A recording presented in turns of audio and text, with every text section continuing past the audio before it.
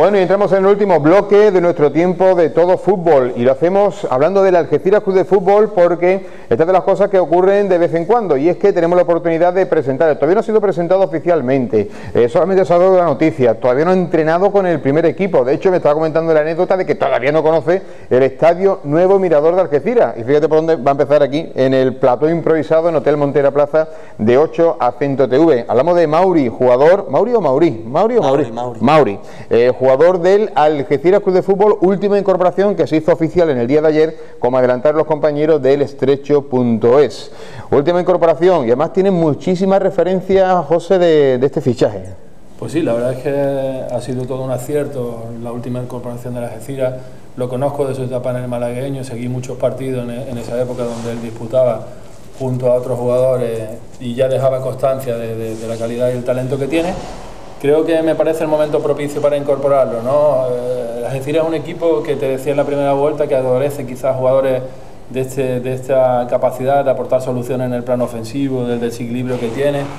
Y, más ahora con la ausencia de, de Khan, ¿no? Yo creo que es el momento propicio para su llegada, seguramente en el momento que se incorpore necesitará un periodo como todo el mundo de adaptarse a, diferentes cuestiones y en el momento que le encuentre su, su mejor momento, perdón, va a dar resultados más que interesantes. Mauri, muy buenas tardes. Buenas tardes. Bienvenido.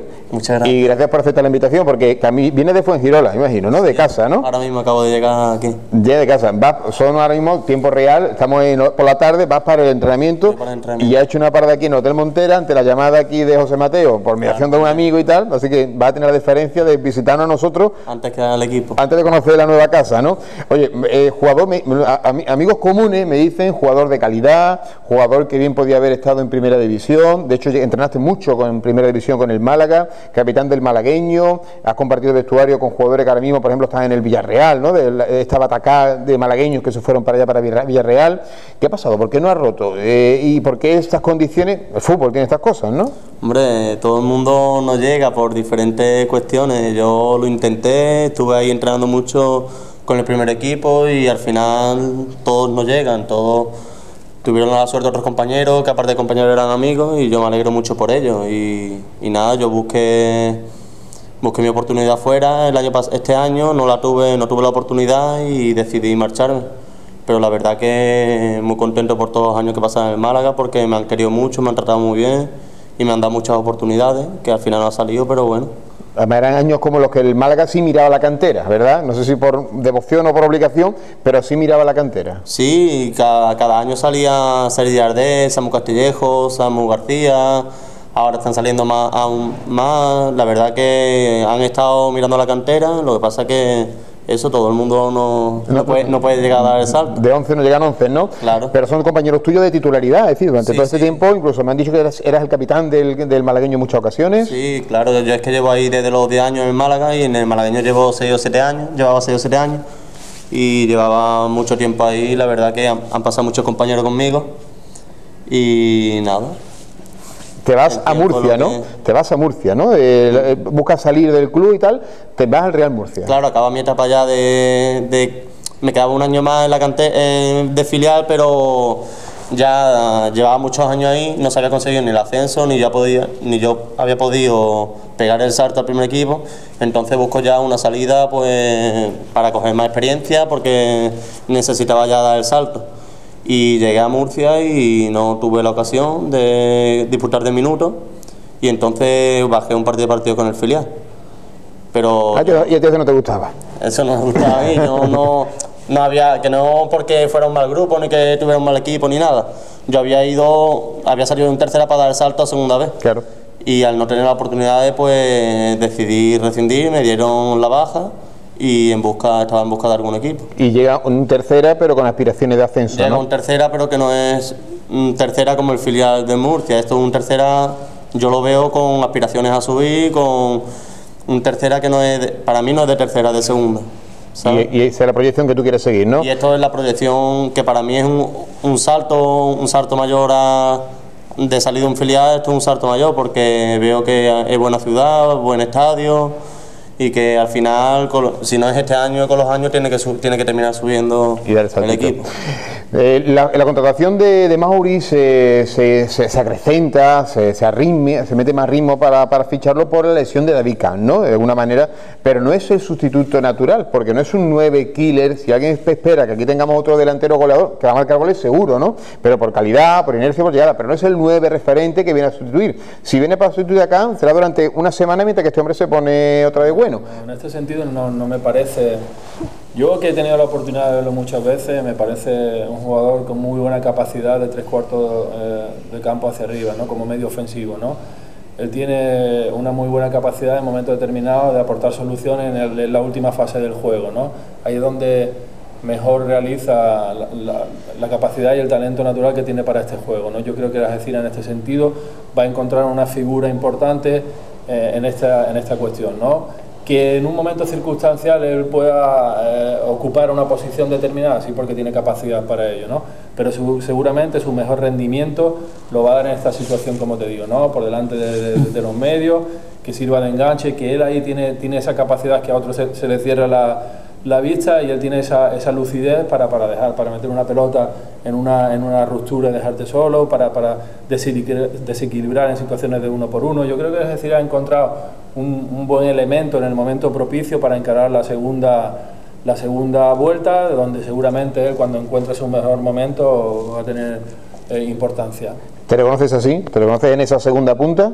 Sí, me reconozco. Yo he jugado en el malagueño, he jugado en todas las posiciones, he jugado delantero, he jugado banda, he jugado media, punta. Pero como él dice, donde yo me noto más cómodo es recibiendo entre líneas, de enganche entre medio centro y delantero.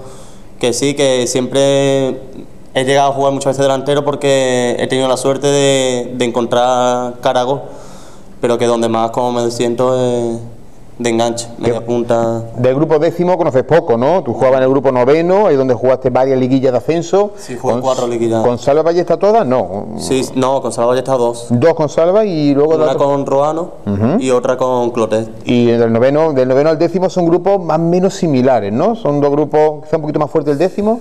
Mm, es que del décimo no conozco nada. Del noveno te puedo decir que había cinco o seis equipos fuertes. Después fuera de casa te costaba ganar, porque eran campos muy chicos, césped artificial, pero después en casa no tenía muchos problemas, más que nada con los tres o cuatro equipos de arriba. Deseando ya... Aquí me han dicho que, que, es más competitivo, que en cualquier campo puedes perder, que, que hay mucho más nivel, pero bueno. A disfrutarlo, a disfrutarlo. Tendrá ganas ya de conocer compañeros y demás. No, el miércoles tenemos ya, tenemos el miércoles, ya sabes, San Roque y Algeciras. Por tema papeleo, por tema físico, ¿estás ya hábil? Sí, yo hoy se estaban arreglando las cosas y yo creo que voy a poder estar a disposición si el míster lo cree oportuno. Perfecto, bueno, para que el miércoles para verlo ya en persona, que nos habla muy bien de, ti, gente, amigos comunes. Gracias y muchísima suerte para esta etapa, ¿de acuerdo, hijo? Bueno. Muchas gracias.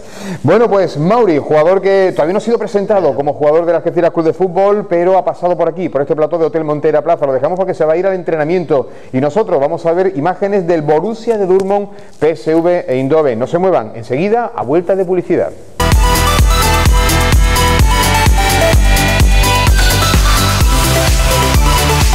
Puro Estrecho, el restaurante con las mejores vistas del estrecho de Gibraltar que ofrece una carta con platos originales y una decoración espectacular. El mejor enclave para eventos, especializados en bodas, comidas de empresa, reuniones, convenciones y todo tipo de celebraciones. Piscina, entorno idílico, decoración cuidada al detalle, salones envidiables para eventos y unas vistas únicas conforman una oferta inigualable. Puro Estrecho, en el faro de Punta Carnero, donde hasta el viaje es un placer. Busca, pero no encontrarás nada igual. Clínica Virgen del Rosario presenta como novedad su tarjeta CVR Salud. Ofrece 24 horas de atención gratuita en urgencias para evitar las esperas innecesarias. Consulta de medicina de familia y servicio de enfermería totalmente gratuito sin coste. Y además un 30% de descuento en especialistas. Todo ello por tan solo 10 euros por persona y descuentos y ventajas para familias numerosas. Sin límite de edad y sin examen médico previo. Clínica Virgen del Rosario, un referente en medicina en Algeciras, te ofrece traumatología reumatología, rehabilitación, cirugía estética, reparadora, general dermatología, endocrinología, cardiología, ginecología, alergología y todas las especialidades que requieras en unas instalaciones innovadoras. Ven y pregunta por la tarjeta CVR Salud y benefíciate de todas estas ventajas. Y por tan solo 10 euros por persona. Clínica Virgen del Rosario en calle Austria, frente a Hotel Mercure, Algeciras. Porque hay cosas que no pueden esperar, farmacialalinea.es. Evita colas, esperas y haz tu pedido a través de internet en info arroba farmacialalinea.es. Te servimos tu pedido a domicilio a unos precios que ni te imaginas. A su servicio desde el año 1988, con una dilatada experiencia y profesionalidad. Ahora quiere ser su referencia en venta online de productos de parafarmacia. Entra en nuestra página www.farmacialalinea.es para realizar tus pedidos y conoce nuestras ofertas y descuentos. Estamos en la calle Torres Quevedo, en La Línea y en www.farmacialalinea.es, porque tu salud no puede esperar. En pleno Parque Natural de los Alcornocales, en un cortijo con unas vistas de la bahía inigualables, donde podrás comprobar el auténtico sabor a carne hecha al calor de la brasa beleña. Prueba nuestra barbacoa y nuestro horno beleña. Te recomendamos la presa, el secreto y los guisos de la tierra como la sopa de espárragos. Todo ello en nuestros salones perfectamente preparados para celebraciones. Restaurante Casa Manolo, Encuesta Hormisur, Ringo Rango, Los Barrios.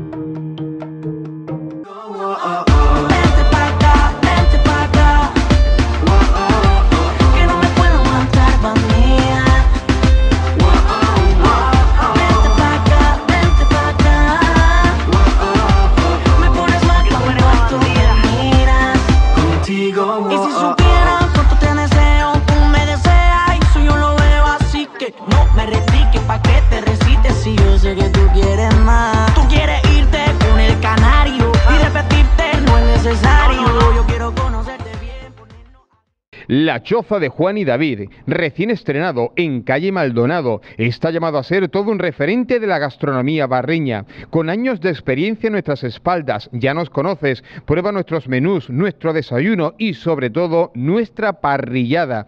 En los barrios, estreno reciente de La Choza de Juan y David. Te esperamos en calle Maldonado.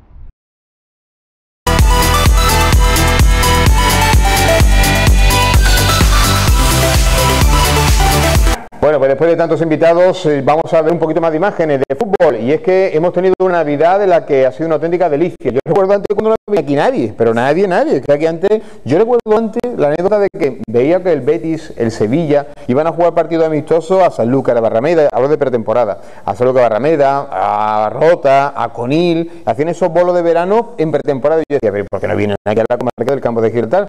Y de vez en cuando, a por el centenario vino el Sevilla, ¿te acuerdas? Luego vino el Málaga también, antaño solo se ofrecía de la línea, ¿no? Pero estoy de épocas mucho más recientes. La verdad es que esta dinámica ahora en la que han estado, yo no sé si, bueno, sí, por el tema del fútbol en Marbella, todo lo que son los, los equipos que vienen a hacer los estados de preparación, la verdad es que ha cambiado muchísimo, porque tenemos imágenes que nos va a pasar nuestro compañero Manolo, de ver un Borussia de Dortmund con todas sus estrellas, ver un Inter de Milán con todas sus estrellas, ver el PSV Eindhoven, que fue campeón de la Liga Holandesa el año pasado, la verdad que es una auténtica delicia para los que les gusta el fútbol, vamos, la muestra solo 2.500, 4.000 espectadores, yo no sé al final quién tiene razón con la cifra, pero el ambientazo de fútbol que hubo, por ejemplo, el día del Borussia de Dortmund. Yo creo que está tomando una gran importancia la decisión que ha tomado la balona del cambio de superficie. Ahora mismo eh, da sana envidia, no sé, dan ganas de tirarse como espontáneo en ese césped. ¿no? Nosotros que estamos acostumbrados a presenciar los equipos de- del partido de la balona, estamos viendo cómo semana a semana eh, es impresionante eh, las sensaciones que da el césped. ¿no?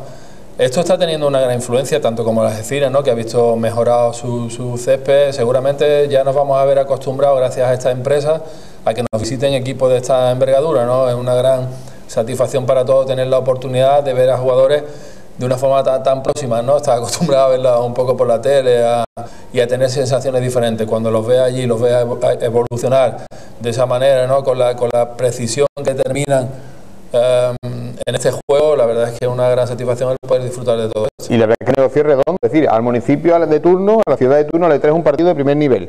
El hostelero que tiene una venta de churros que tío vende tapa, encima mete ahí un número de espectadores, pues no sé si es Gibraltar o de Fuengirola o de Espona o de Algeciras o de la línea. Además, te arreglan el campo de fútbol. Yo ayer por circunstancia, a las 2 de la tarde, eh, veía los eh, camiones de fútbol Marbella arreglando el césped del nuevo mirador de Algeciras. Ojo, que tienen sus operarios municipales, que harán una labor evidentemente estupenda y no hay nada que obviar, pero estos son profesionales del tema también y que te ayudan a que esté eh, el terreno en un estado sensacional y como tú bien decías antes, el estado en el que se encuentra el estadio municipal de la línea, que eso es una auténtica alfombra en toda, toda Galicia.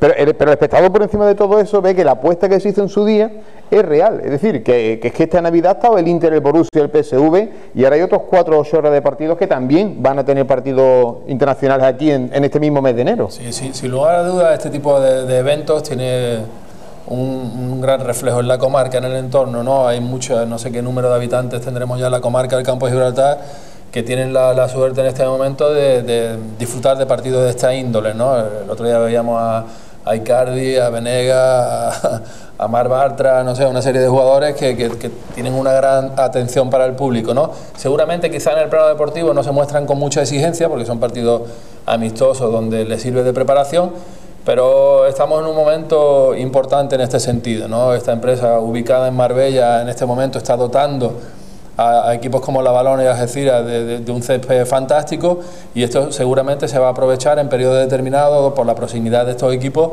que van a, disputar de, partidos de esta, de esta categoría. Y si encima luego vemos detallazo y lujazo como el gol de Ismael Chico, que a veces nuestro compañero Manuel lo tiene por ahí, no lo puede recuperar, el golazo que le hizo ni más ni menos al Inter de Milán, es que la Balona, si nos retrotraemos a ese partido, se puso 0-1 con el Inter, 1-0, mejor dicho, porque jugaba en casa, empató el Inter, le marcó el segundo gol también en esa acción, el empate y el gol, pero es que ver la imagen de la Real Balompédica Linense en la línea, jugando contra el Inter de Milán, con esa camiseta fluorescente que salió, la verdad es que es poco más que añadir, ¿no? Es una, gozada para, para, todos los que somos apasionantes, apasionados de este deporte, ¿no? La verdad es que estábamos esperando los días con mucha expectación de los partidos que se aproximaban y la verdad es que fue una bueno, fue una sorpresa y también lo que, lo, que hace pensar es la, gran afición que hay en el campo de la Gibraltar, sobre todo este deporte de fútbol, ¿no?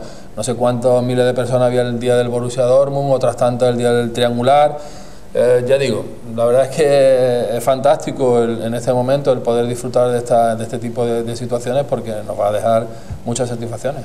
No ha quedado mal el programa de hoy con los invitados, con el resumen encima, encima ha quedado mal, gracias, José. Hasta el siguiente. Bueno, un saludo. Así empezamos, así ponemos el primer pie en el 2017. Mucho nos queda por delante, se lo seguiremos contando aquí en 8 Acento TV, nuestro programa Todo Fútbol, todos los lunes a las 10 de la noche. Les esperamos, pasen buena semana, hasta la próxima.